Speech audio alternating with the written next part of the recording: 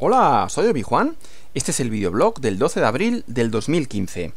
Y os voy a contar cómo manejar vectores con FreeCAD y con PyOML. Para ejecutar el ejemplo que os voy a hacer aquí en este videoblog, os vais a um, el proyecto Freaky en la cuenta que tengo en GitHub, lo clonáis, abrís un terminal y os vais al directorio donde habéis clonado el proyecto Friki. Y desde ahí lanzáis el FreeCAD.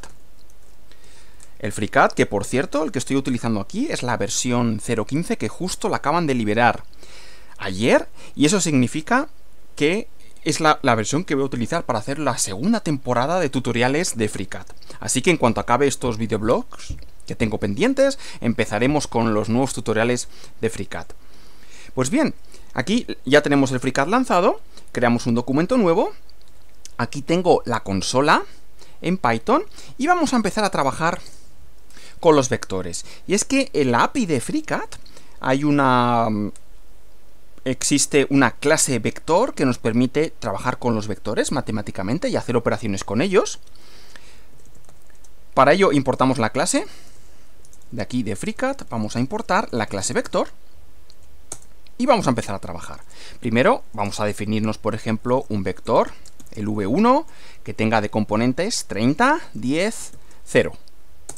Una vez que tenemos, que tenemos creado un vector, podemos acceder a sus propiedades.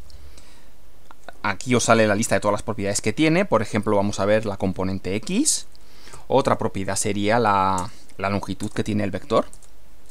Pero imaginaos ahora que queréis visualizar en 3D ese vector. Pues eso es lo que he creado yo en la biblioteca PyOML, entre otras cosas.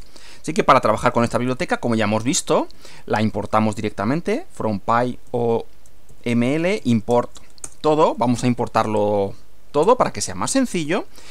Y para visualizar un vector, nos vamos a crear el objeto SV1, que es de tipo svector, un vector sólido, que es la representación 3D del vector V1.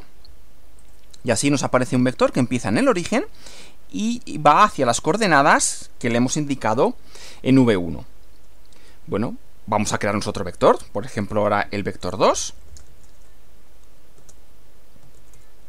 que este va a ser vector 10, 30, 0, y lo mismo vamos a visualizarlo.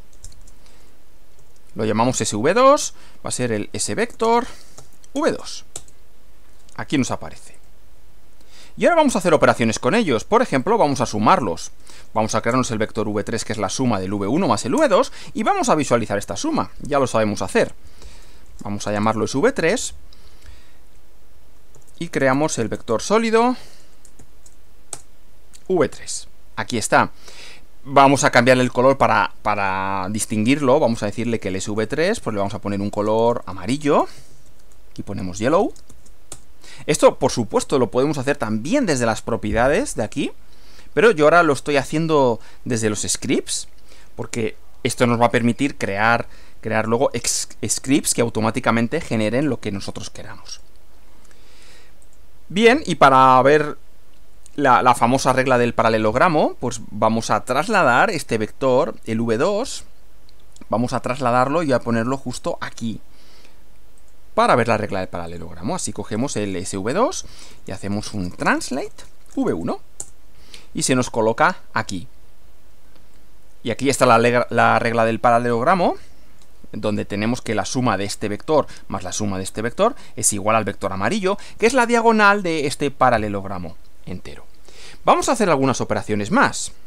Voy a limpiar la consola. Vamos a hacer ahora, por ejemplo, operaciones de productos vectoriales entre el vector v1 y el v2.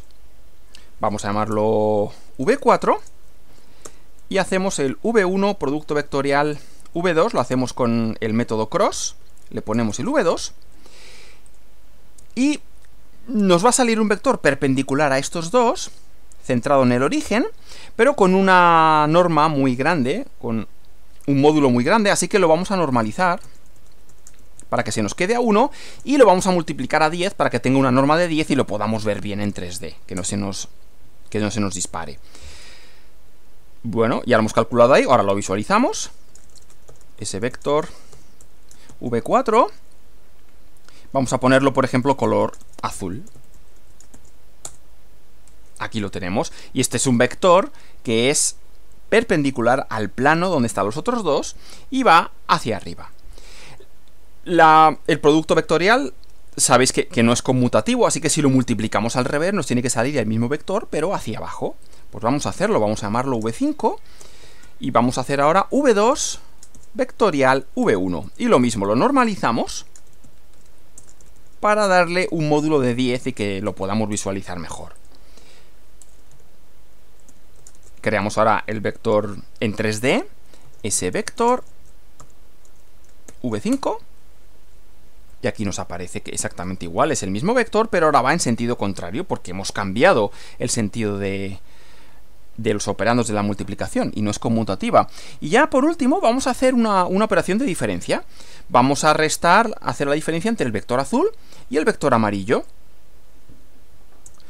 Vamos a, a crearlo directamente. El vector v6, vamos a decirle que es el vector v4, que es el azul, menos el amarillo, que es el v3. Y directamente le vamos a dar a esto un color verde. Hacemos la diferencia y aquí nos aparece. Vamos a trasladarlo para verlo mejor. Vamos a hacer V6 translate V3. Y ya nos aparece aquí. Y esta es la diferencia entre el, el vector azul y el vector amarillo. Fijaos qué cómodo es esto de poder representar los vectores porque es muy útil para aprender operaciones, para comprobar si las operaciones las tenemos hechas y para hacer muchos de los ejercicios de, de vectores y de transformaciones. Esto lo utilizaremos más adelante para hacer sistemas de referencias y para usarlos en la cinemática de nuestros robots.